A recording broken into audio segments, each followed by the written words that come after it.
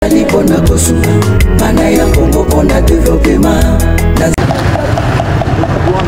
nde na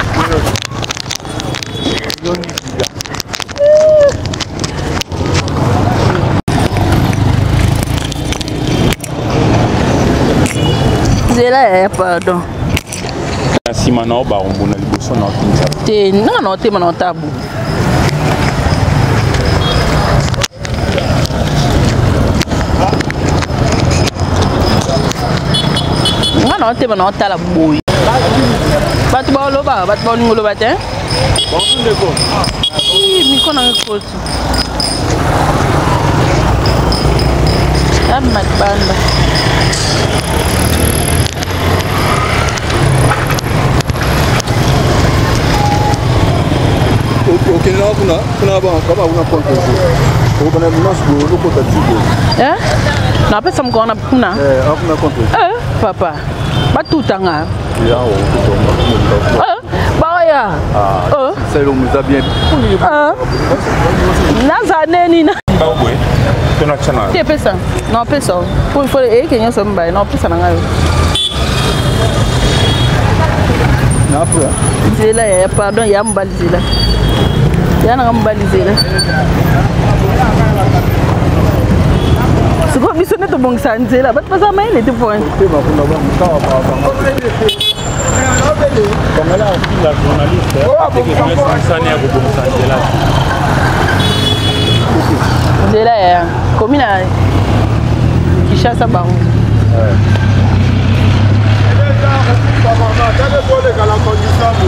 ngoloba elama moke na opesa maloba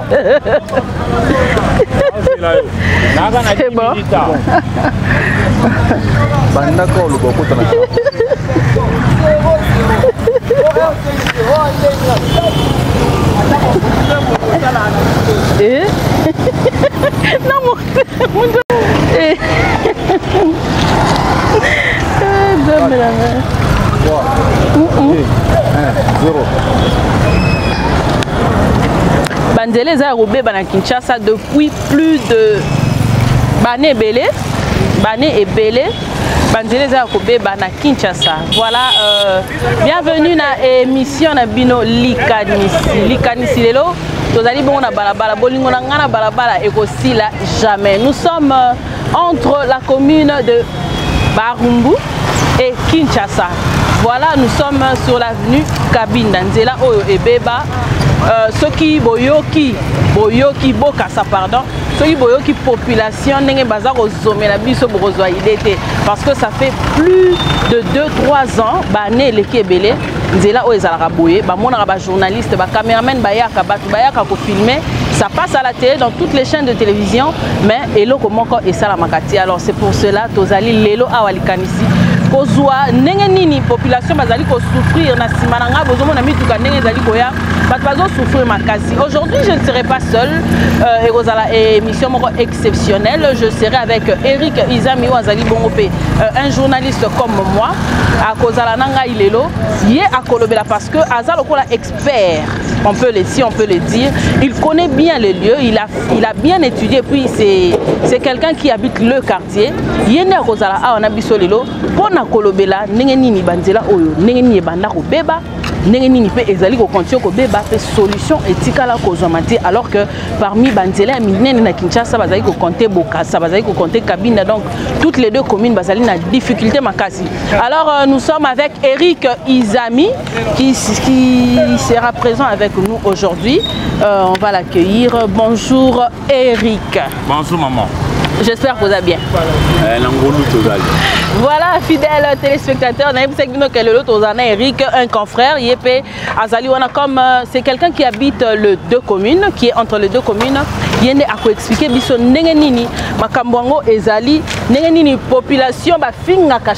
chaque jour hein, les journalistes les passants parce que toyaka kofilme bazoloba ngo ti bazoloba ngo ti mm. babi que chaque jour bayaka kofilme awa eric dites nous un peu nous sommes dans quelle commune awa ah, toza na toza na frontière ya deux communes mm -hmm. na gauche na ngai ya commune ya kinshasa na droite na ngai ya commune ya barumbu mm. oyo avenue babenga yango kala bokasa mm. jean bedel bokasa mais eza rebaptise luambo makiadi franco bato nyonso bayebi luambo makiadi azalaki artiste monene ya mboka na biso ya mokili mwa afrika mpo azalaki na esprit critique très élevé bon nde nayebeli ye soki bopesi ye nkombo na nzela toko ya lwambo bokotika nzela na ezala boye te donc kaka na nzembo moko bokochange avis bokobenga lwambo makiadi te ezala boye aveni nkombo ya lwambo kozala boye te ata kaka mpona komona ya lwambo te ekozala boye te euh, okoyebisa biso ça fait combien de temps ça fait combien de temps nzela oyo okoki koestime ça fait combien de temps banzela oyo parce que toza banzela eza ebele mm. banzela eza ebele eza ya kobeba ah toza nao na bokasa mm. tokozwa banzela ebele okoki kopesa biso estimation ça fait combien de temps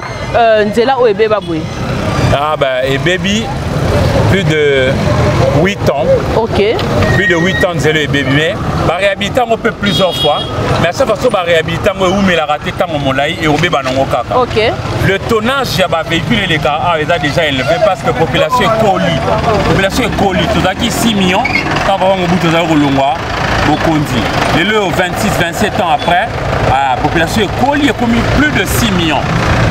mais avenue yango ya lwambo makiadi oyo eza porte d'entrée ya bandeko banso bautaka na partie est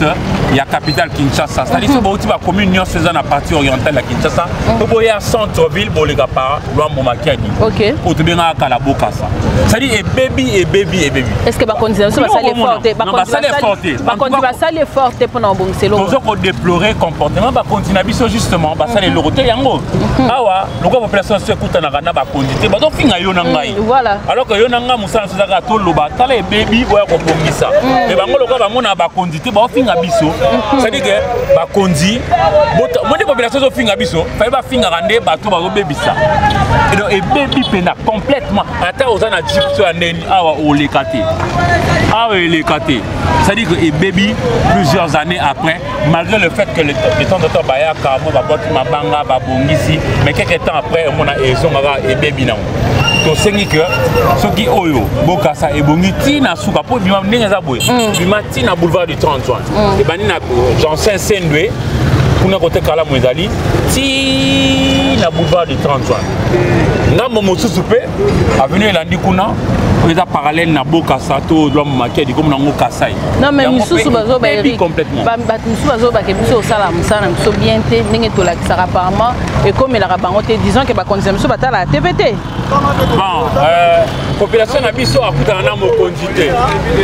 population na biso akutana na mokonzi te lokola ah. yo na nga yo na nga mm. tozalaka na bakonzi mm. bazofinga biso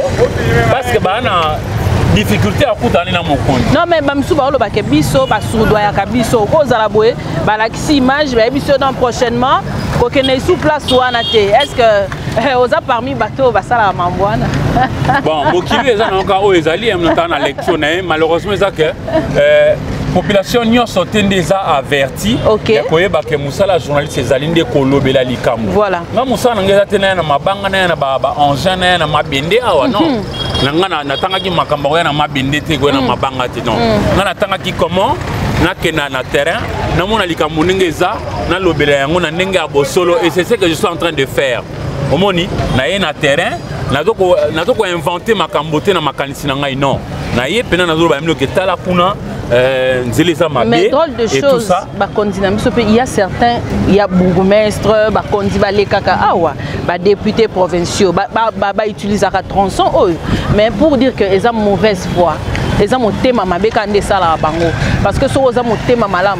Ils voyagent partout, partout,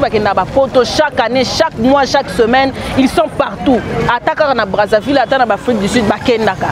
Bazomona ninge mboka ya baninga neza ko progresser et, et, et du jour au lendemain. Mais ya biso, bango baye bazui bakende ko voir misaba na bango, bavanisi bango na ba place En tout cas, na yebite soki bakonzi bakoyoka lisusu mbela oh parce qu'on en a assez. si on en a marre bandeko ya barumbu ya, ya, ya, ya kinshasa balembi situation oyo baleka na lisu malamu te awa soki oza na motuka na yo ya chere yeba koleka te motuka na yo ya bien ya mwa chere ya bien ya mwa luxe oleka te mpo bamituka ku ya minene oyo tobengaka baesprit de mort ba 207 oyo bakokoka koleka te bawaleka mopanzi ebongo sikoyo bamituka ya se ya kitoko wana eleka nzela nini en tout cas eza mbela moko tozosala mpo na bakonzi bayoka esengeli boyoka population mawa eh, boyokela mpe population yango mawa vous enrichissez bozozwa babiloko nyonso bambongo nyonso ezokoma ya bino mais population oyo bavotaki bino population oyo batiaki bino na, na, na liboso na, na, na, na bakiti wana bozali bozolinga esu kohonore bango te en tout cas ce n'est pas une bonne chose eric okoyebisa biso awa toza avenue nini oyo oh. oyo eza croisement avenue kongolo ouais. na bokasa ebebi complètement tosili na mokonzi zwa na yo mbongo nyonso ya mokili zwa na yo mais bongisela soki ya nzela hmm. eh, so na mama parce que omoni epa na biso ekóma lokola baconcurrence ya bamillion badesacralisa million million ezali mbongo ya kosala nango te soki okomi na makambo etali badollar américain hmm. epai na biso tozangi mpe te makoki ya kosala banzela yango mpo bapesa biso par exemple kinsuka kinsuka ezalaka na mabanga ebotaka tout le jour hmm. bakayu ya makasi mabanga ya makasi bakasi oyo bakosala ke tozanga nzela ya mabe te tozanga nzela ya malamu te plutôt tozala banzela oyo elongo bani oyo ke bani nyonso mm. bakoleka mm. yo moto obeta lisolo par exemple yake eh, oya na voiture oleka ndenge nini imagine ya mpe moto aza na problème na mwana fièvre na 2 heures du matin mm. boleka na mwana nzela ni mpo okenda par exemple hôpital to nzela eza deja boye boleka nzela ni mpo bokenda population bazokamwa biloko so azwi maladi na pokwa na na butu makasi boleka nzela nini na motelo eric population bazokamwa otunaka biso ba napesaka bino bakinsuka ata moi ndeti ye par exemple ndeti ye hmm. asala demi tour ah, parce que simplement akoka te komekwa akende ti likolo kuna mposo ameki kaka abuka carter ya moteur na ye eloko mosusu population bazokamwa biloko ezomata makambo ezokoma chere parce que mutu auta kosomba biloko par exemple na pompage azalaka na pompage alingi akosomba biloko awa na zando hmm. bakotekela ye na prix mosusu na zando pourkui mutu oyo atamboli ti akoma pompage nzela eza mabe eta ya nzela eza mabe yango mpe nde ezokomisa biloko chere soki tozwi mpe nzela na biso ya bakongo kuna mokolo mosusu nayo kokende mwanda j'ai fait deux jours na nzela mpo na nini nzela eza ya kobeba banzela matadi etusa or banzela wana nde ezokotiselaka biso biloko ya kolia na ya komela yango nazoba bakonzi bazokela biso mawa te bozopimela biso ya kolia ya komela pourquoi parce que nzela eza ya mabe soki babongisi biso ata nzela tokobosana ata bamapasi mosusu tozomona les gens bakokende bakopake na baoccupation na bango librement bakokende kosala ba voyage ba nzela musika akende oluka ya kolia ya komela to pe marchandise na ye kaka ndenge Eric alobi yebisanga mutu o oh, awa mutu asali crise na 1 heure du matin na mutu omeme na mukongo omeme na mukongo te il faut omema ye na mutuka alors que mutuka ekoleka te alors euh, je pense que Eric tokokende na ngambo mosusu pour que tomona lisusu état ya nzela mais côté wana tokomeka mpe kolobisa population bameka mpe kopesa likanisi na bango mpo awa population eza très fâché mutu alingi koloba aza te bakomibaosinga na bango biso tolibisi bino akoyebi na bino nde te mosala journaliste eza te ya ngai na mema mabanga voilà nous allons partir de l'autre côté pour euh, voir euh, comment ça se passe et puis tokolobisa population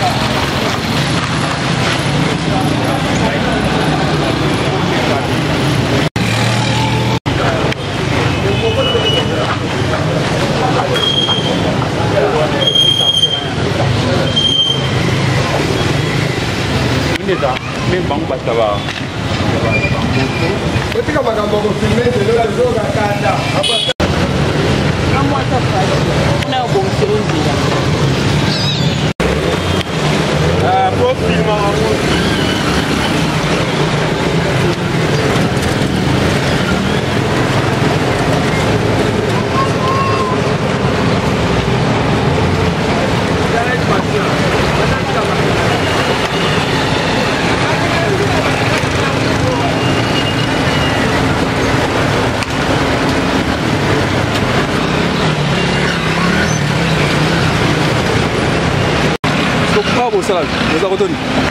awa bozelaki motema na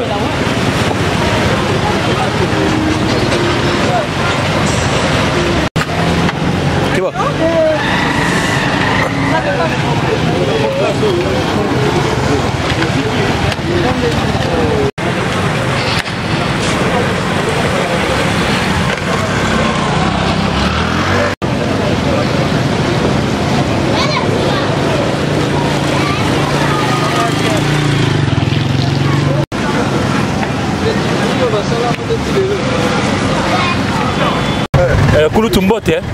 ah tozwa miwa yango epuis voilà tokina kinshasa ah. ezalaka ndenge nini bino bokoli na kati ya penepene ekomi ndenge nini moi je me souviens euh, ezalaka boye te c'est que ezalaka boye te nzela ezalaka malamu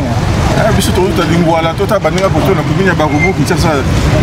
ezalaki malamu esika ekomi nini mais non c'est plus possible mais ça c'est c'est classé c'est mais moi kuna loba yali te otambola ndenge nini est ce que zamba liboso bomona bajournaliste awa ah. oui hein oui en tout cas tanga biso lokola omona te c'était pas pareil en tout cas ok ça fait combien de temps oyo oh, constaté que nzela oyo ebebi non ewumeli ewumeli surtout na suka awa mais non ewumeli mingi eh, eh, likanisi na yango okopesa nini na bakonzi oyo baokolanda wana miniti oyo nalonga nakanisi ke eh, mokonzi aye sika papa gouverneur bavote sika asala mosala na ye parce que non c'est pas possible batiki lechange makasi mais il faut aluka asala mbuye te na baprojet ebele ebele asala boye alongola vila projet wana oyo aya na baprojet apesi yango nkombo alongola biso nini salite na ville eh, biloko ya kuluna ase projete biloko mibale wana pas biloko ebele ebele wana les autres akokosala yango te il faut eh, ah, ah, ah, comment dire c'est ça la vérité akoka te mais salubrité wana ezali cheval de bataille na ye c'est ça que nous, nous voulons merci beaucoup merci beaucoup merci euh, voilà euh, ndenge nayebisaki bino nous sommes sur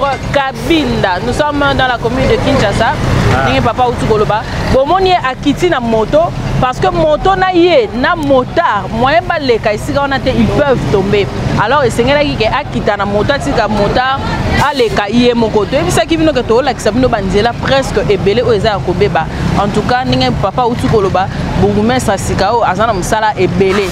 Aya na ye na ba projet. Hmm. Gouverneur ya sika. ana mosala ebe ana ye na baprojet ebele te parce que oyo oh, ekotaka na baprojet soit disant baprojet je ne sais pas comment est ce qu'on avait nommé ça ezala na baprojet ebele banomaka nomaka mais ti 8 ans eleki bane eleki en tout cas etikala kozala réalisé te euh, voilà nous allons prendre euh, quelques personnes oh voilà eric euh, okoki koyebisa biso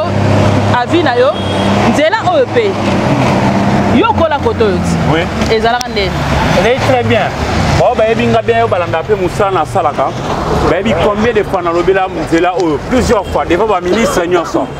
tokutana na baministre nyonso na beta mbela bobongisela biso kabinda kabinda eza nini bino bala boza na bacommune ebele ya mosika kabinda eza avenu ezali banda na rtnc eleki balingwala nyonso eleki kinshasa ekoti barumbuti eketi kuna mosika kota bandeko na biso batangana na stable yango wana nde avenue ya kabinda alors awa eza impossible mpo leka awa eza vraiment difficile toza na voiture ya se okoka te mpo obuka carter na yo toza na mwa voiture ya mwa jip mwa likolo obundana bundana mai ozwa mpe kaka pakoso tozosenga nde bakonzi baparvenir ya kopesa solution kopesa solution eza maka mibale misato eza kaka ya kobongisa nzela epuis libulu oyo esila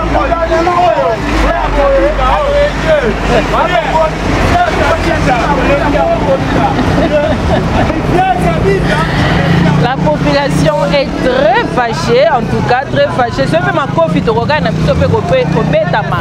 Mais population za ko silika makasi parce que ce total IP hein euh, je crois que réalisateur ko taila biso total ba maison. Moi que ba maison ba sala mpiaka ba teka lisute. mpo na nini mutu aleka lisu nzela oyo te mpo aya kosoma ya kokota na boutique parce que de peur ke akota na kati ya mai akota na kati ya potopoto baboutique presque baboutique bamaison eza nzinga nzinga en tout cas je ne pense pas ke batekaka lisusu malamu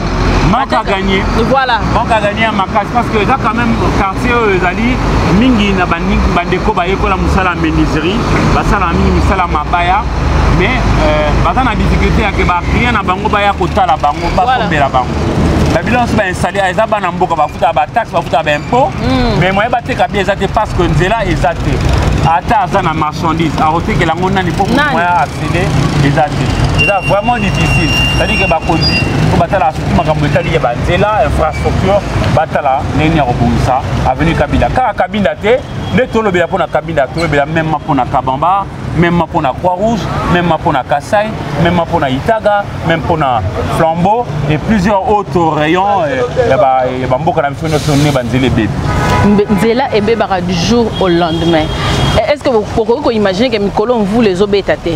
mais tala mai liziba oyo ebale oyo esalami awa mpo na nini bamosusu bakoloba na biso ke batue ya régie des eaux ebebi donc moto aza na part ya responsabilité na ye mosusu akolobaka na batuyo ya régie des eaux batia na se ya mabele etoboki etoboki ndenge nini ebandaki ntango mosusu moke me bazwaki na bango soin ya koya kobongisa yango te ntina ndenge esali libulu mosusu bakoloba mvula ntango enoki bakanivo esali nini ezalaki bouche nani azobouche bakanivo mosusu mpe kaka biso moko population nde tozobouche bakanivo na babiloko mosusu biloko mosusu erik tokoki koakizaka mpe kaka bakonzi te tozalaka mpe heure moko franc franche bacaniveau mosusu ti eza bouche biso moko population mema misusu bakoloba non batiela biso poubelle publique te me ngai nazotuna ntango okobela maladi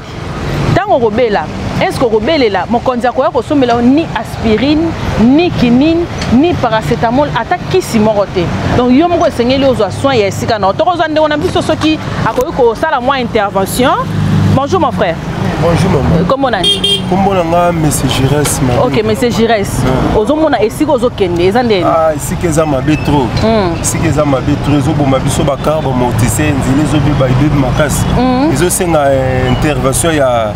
ya ya gouvernement ni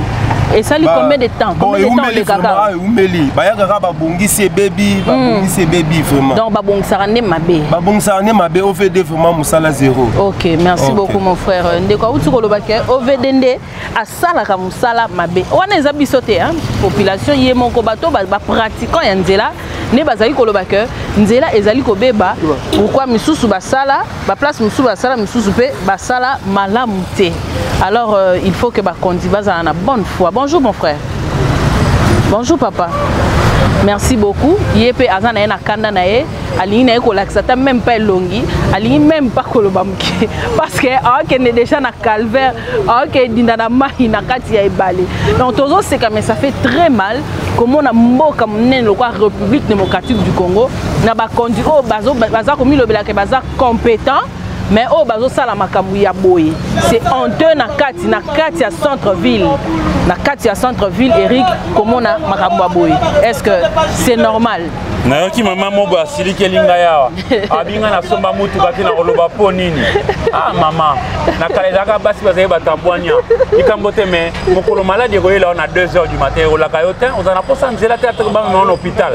toloba bongo te bazosilikela biso moi je comprends et je respecte la colère de la population mais mosala ya journaliste eza te ya komema mabanga na mabende awa mm. mosala ya journaliste ya koloba ke awa ebebi yo mokonzi surtout nde bato vote oyo sika ya kopesa nde solution mm. ndenge olobi ke bapart ya responsabilité ya partage oui mm. naboyi mpe te population mpe na part ya responsabilité mais ndako etelemaka to yo tata na mama botelemi mm-hmm. oza comprendre tata na biso nani eza gouverneur ozo comprendre abosana te badefi ya koreleve soki alingi aembrasse makambo nyonso alapart bagouverneur badepute provinciaux c'est vrai que mosala na bino eza ya kobongisa te mais mosala na bino bobimi na bacommune population na mpasi na ye abimaki na ntongo jour wana le 20 décembre abimaki na ntongo mpo na kokende kovote mpo ayebaki ke okolobela ye oza bouche na ye mpo na kokende elobela bakonzi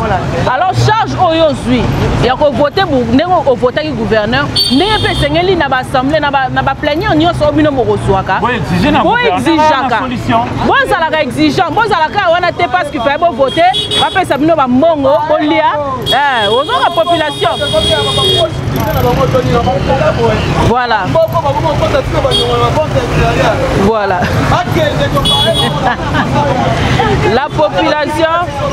la population, la population est très fâchée. Et l'autre manière kolobela, bino ba, ba, ba députés provinciaux, on vous a voté, bozwa charge. Député provincial ya commune à Kinshasa, député provincial ya commune à Barumbu, ya ba commune nyonso. Musala na ona ba plénière, ezate okela la pongi, ezate ya qui sont pour, qui sont contre, otomoli maboko, na suka ozi salaire na otie na poche, ozwi mwasi na wana bana ba makango boke poto boza kokende bozonga dubai ekoma lokola nsima ndako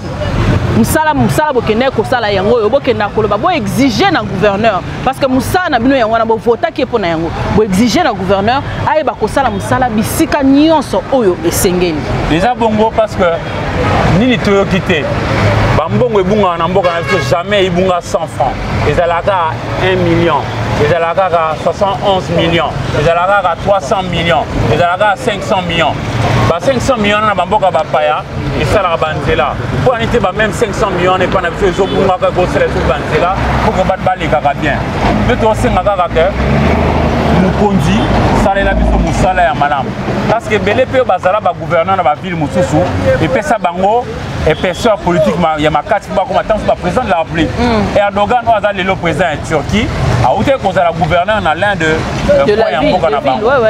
euh, na kala jacques chirac azalaka maire to gouverneur ya paris akomaki président ya france epai na biso biso oza gouverneur ya bien osali mosala na yo bien kise soki kopropulsio mpe lobi ozwa baposte mosusu ya makasi bagouverneur mingi oyo baleki awa en tout cas cotation na bango eza malamu te bino bozomona nde population eza kosilika voilà. cotation eza ya kitoko ata soki moke te bao boye sika botya na maboko bobongisa ezala te bamariage ya kitoko président assemblée nationale na gouverneur epuis na suka bolakisa susu filme oyo euta kosama awa dernièrement na kinshasa non tolingi yango te tolingi mariage ya ke emema nde basolution biso toolobassemblée provinciale na bagouverneur bosalela biso mosala bien a toloba mpo na kinshasa toloba mpo na bavile nyonso to na baprovince nyonso ya mboka na biso bosalela bato nzela soki to nzela ezali toyeba baproduction na biso tozosala ndenge ya koevacue yango mpo keke na bagrand centre bana bazwa capacité ya koaccéder na baproduction wana eh, balia malamu balala malamu batambola malamu merci beaucoup eric izami tozokende na suka mais dites-nous awa tozolonga siko kabinda tozokende wapi sikoyo ah, toza pratiquement na kabinda presque plateau entre mm. plateau na de l'école mais tolongwe siko awa ah, tona komi na kinshasa tozonga mm. barumbu cette fois là eh, mais na tronçon ya avenue kasai yango mpe ebebi ebebi complètement l'avenue du kasai ebebi yango ebanda banda kuna na, na, na, na, na ngambo ya camp faza tozobenga kala force aérienne ya mboka na biso emei ti ekenda na boulevard du temps juin devant la paroisse sainte anne na collège de lika bisika totana merci beaucoup christian mutseke est ce que tokoki kokende tokende sikoyo na ngambo ya commune ya baru mpo a toza na commune ya kinshasa tokende na ngambo ya commune ya bambu mpo tokei koconclure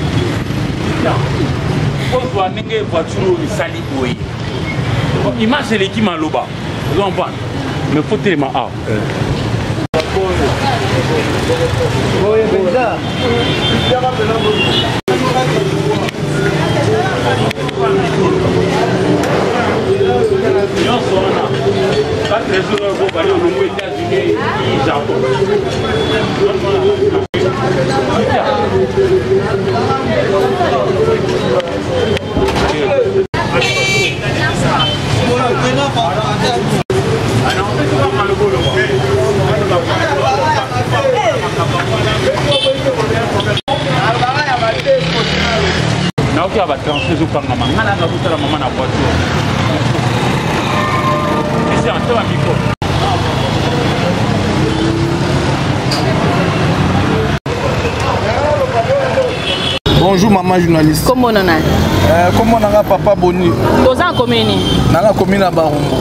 na komi na barumbu oyo aveni nini kasai kasai touti omona camion wana ezindi esika wana bon place oyo toyebi te maman journaliste oyo tokoloba nini tokoloba nini mpo na esika oyo donc omoni kutu mwa fort oyo tosali biso bana mm. quartier tosali yango mm. biso ba tosali quartier ekomi mpe praticable mais ezalaki na batransco transco mpenza mm. ebeta awa une semaine transco ba 207 baketch bana moto bo toyebi te peut-être gouvernement oyo oyo eye sikoyo ya daniel bumba peut-être atala ye koyo mpo aza mwana kini oyo ozalaki na ye député provincial na biso abimwala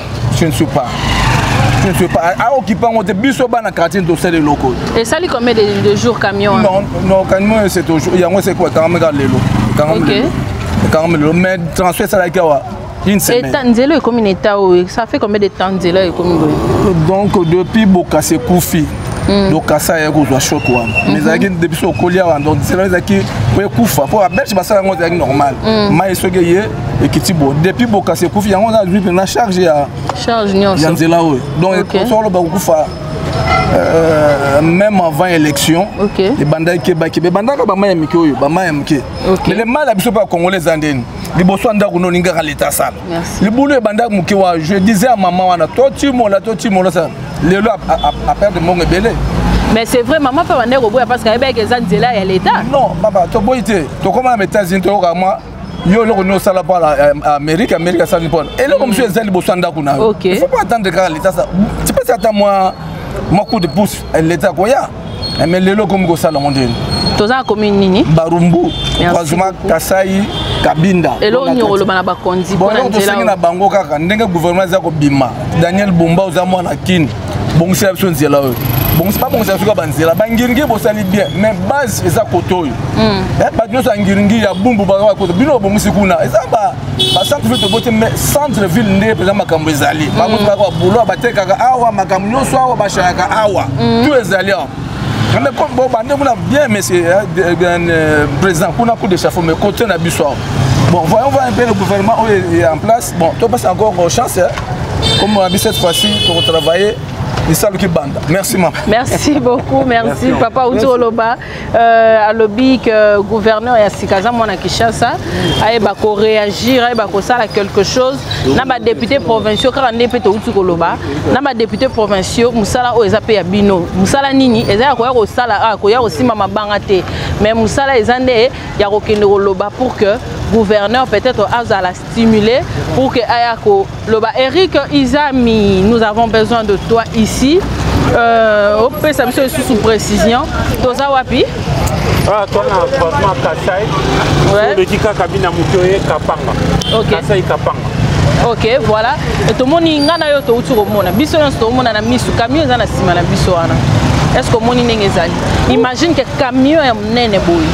ebimi na esika oyo ebongo sikoyo mituka ya moke ata moko te ekoleka ata oza na nini yango awa oleka te bamotavni oyo nde ememi yo ti devant sainte anne oyo eza na mm. seni mm. na boulevard du 30 juin esika tosangani na collège elikia mm. donc euh, tozoleka awa nga nabotami awa nakoli awa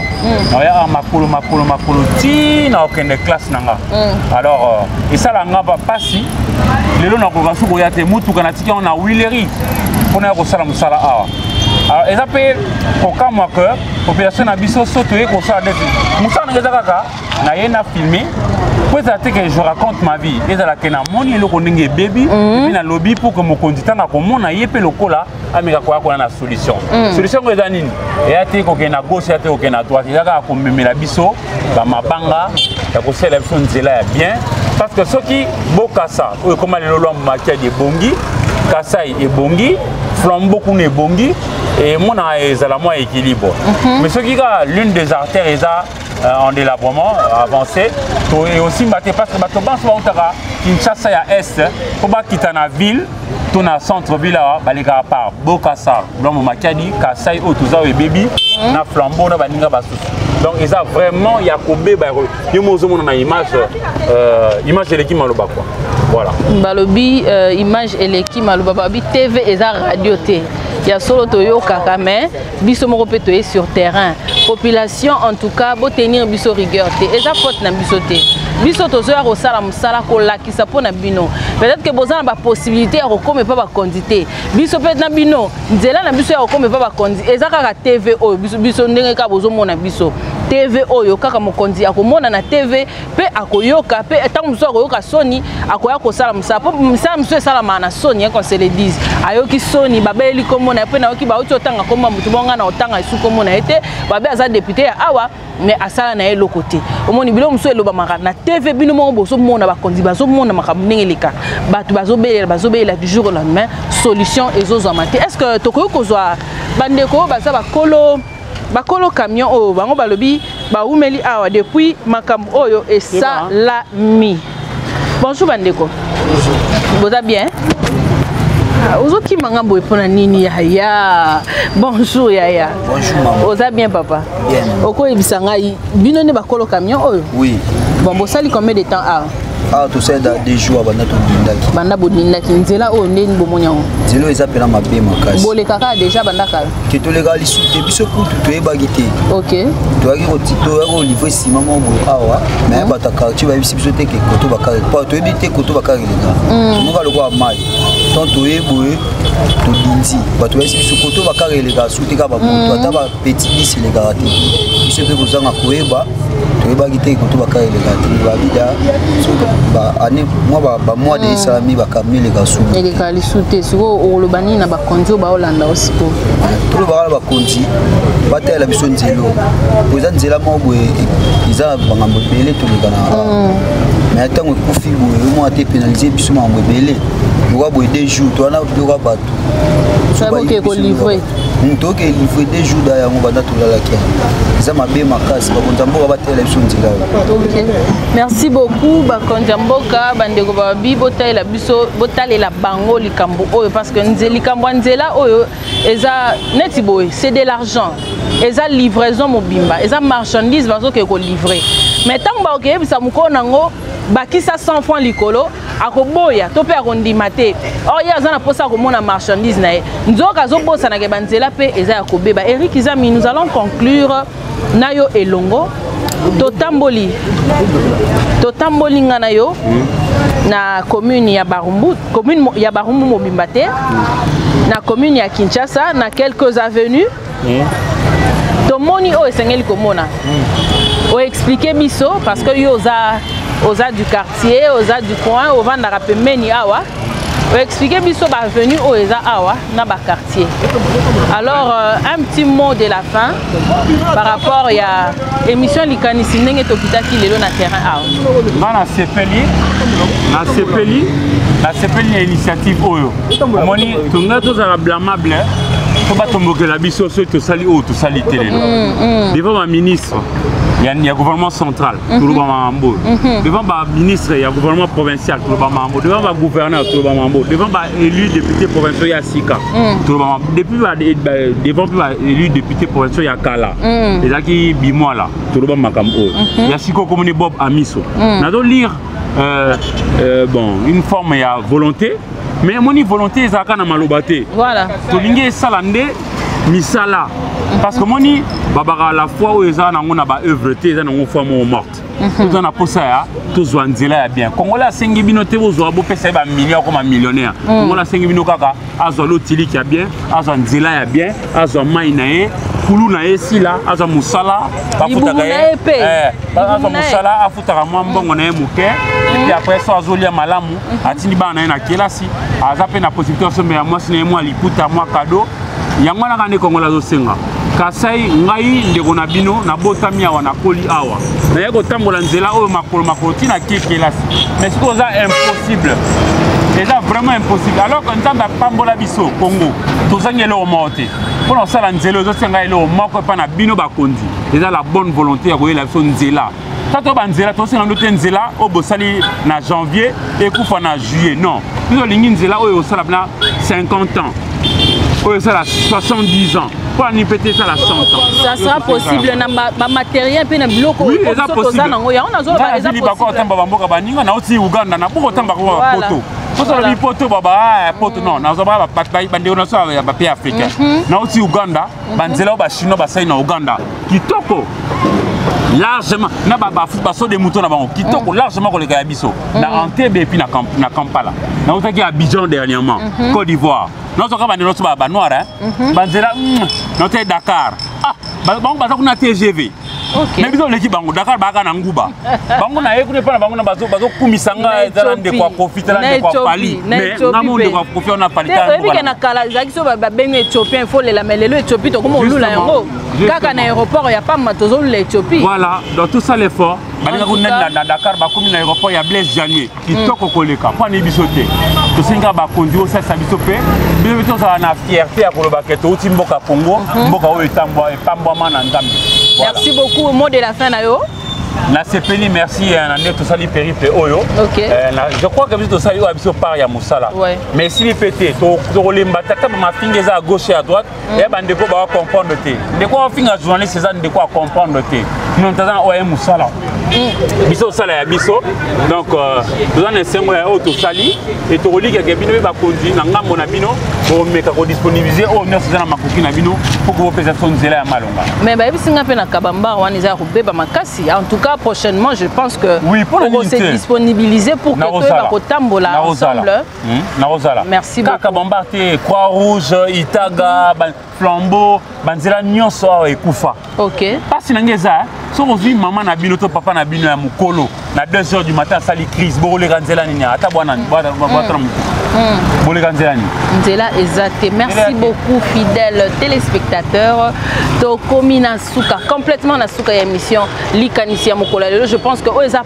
une première partie prochainement toko continuer kaka na kati ya commune ya Kinshasa pe commune ya Barumbu en tout cas merci beaucoup na bino batu ozuli baku ya kolanda biso na internet to pe na, na chaîne originale TV na TNT merci beaucoup na honorable Ados Ndombasi oyo azali ko continuer ko soutenir biso merci beaucoup na Noël Jésus Noël Cheke honorable oyo ye pe azali parmi batu ah, bazali ko continuer malamu j'espère ka otya pe na maboko ah oui aya ah, ya tiaka maboko ah, jésus noël sheke vraiment nga nayebi motema no ya malamu wana jésus noël sheke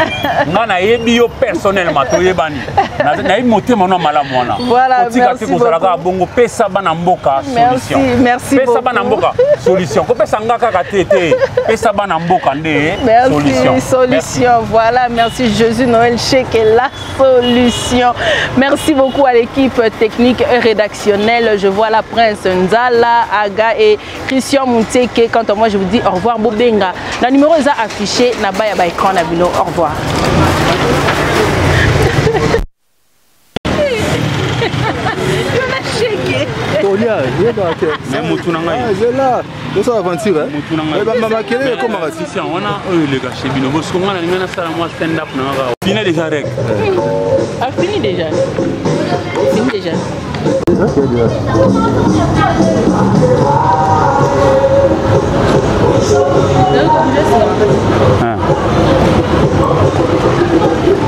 akota mama na ndolo ba tikobuse te tika ya nanu non eyaka mpo nalakisa difficulté ya koleka eyaka mpo namonaka difficulté ya koleka ofimika bapneu